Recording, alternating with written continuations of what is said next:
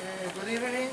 Uh, as uh, civil protection, Italian civil protection, we are here with the ambassador Durante Mangoni to thank for his presence here to say that Italy is in the first line in supporting Ukraine and the countries that are in this situation that needs the help of the mechanism.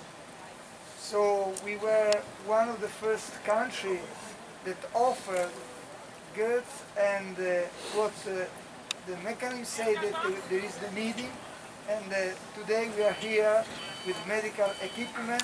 We are talking about uh, more than 40 tons of materials, defibrillator, newborn incubator, ventilator, and what could be needed in such a situation.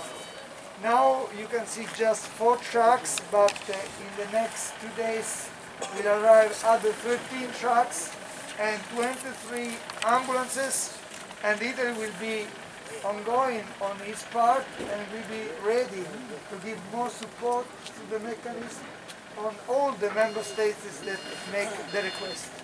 So thank you, and we think that uh, we are here to, to, to say that uh, we are in the, in the first line to support uh, our uh, member states. Thank you.